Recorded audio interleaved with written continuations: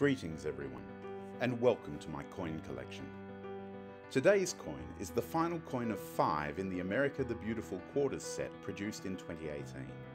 You can find links to my previous quarters from this series in the top right corner or down below in the description.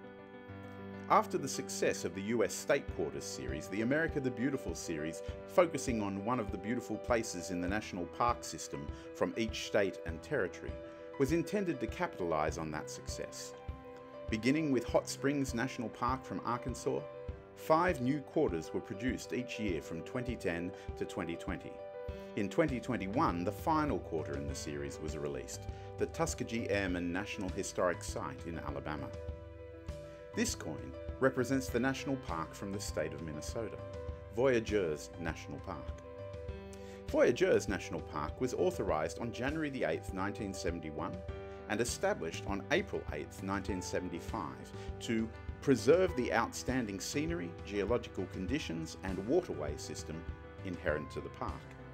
It is in northern Minnesota near the Canadian border and covers an area of 218,200 acres or approximately 883 square kilometres which makes it larger than the nations of Kiribati, Bahrain, Dominica, Tonga and Singapore, just to name a few.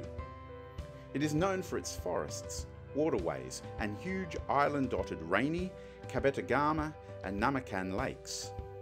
The name voyageur is the French word for traveller, representative of those who began journeying through these interconnected waterways, one of the most important segments of the fur trade route used to open the Great Northwest over 250 years ago. Signs of Native Americans, fur traders and homesteaders, signs of logging, mining and commercial fishing are scattered throughout the park, with evidence of over 10,000 years of human life and use. Voyageurs National Park is an adventure wonderland all year long, full of exposed rock ridges, cliffs, wetlands, forests, streams and lakes. This is a place of transition between land and aquatic ecosystems, between southern boreal and northern hardwood forests, and between wild and developed areas. This variety also creates an ideal home for a diversity of wildlife, including bald eagles, loons, black bears, deer, beaver, moose and wolves. The Organic Act of 1916, which created the National Park Service, decreed that nature and culture were to be protected hand in hand. In 2002, Voyageurs National Park designated 13 visitor destination sites within its boundaries. These destinations can be reached only by boat and provide visitors with an opportunity to learn about the park and its significance. Many of these destinations are historic structures that are being preserved by the National Park Service.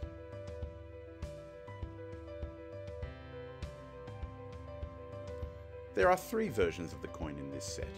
Two in brilliant uncirculated condition from the Denver and Philadelphia mints, and a proof condition coin from the San Francisco mint.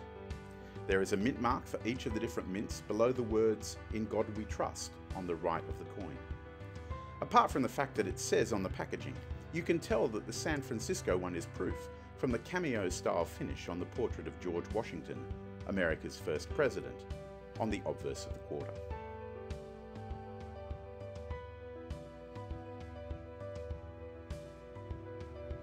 On the reverse of the coin we see a common loon with a rock cliff in the background representing some of the wildlife and the natural beauty to be found in the park. Notably, another coin which features a loon is the Canadian dollar coin, so much so that it is colloquially known as the loonie. Given how close Voyageurs is to Canada, it is no surprise that the same wildlife appears.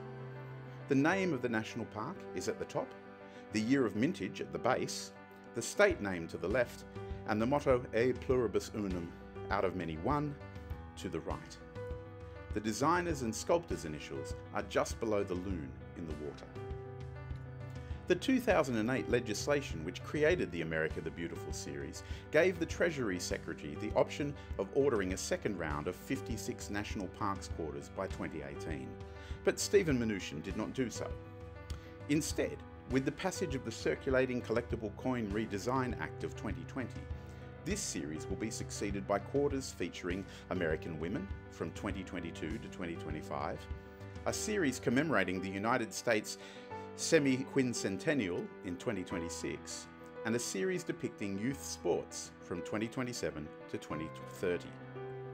I hope you've enjoyed looking at this coin with me. If you have, please like the video and leave a comment down below. You might also consider subscribing to my channel so that you do not miss any of the upcoming coins in my collection.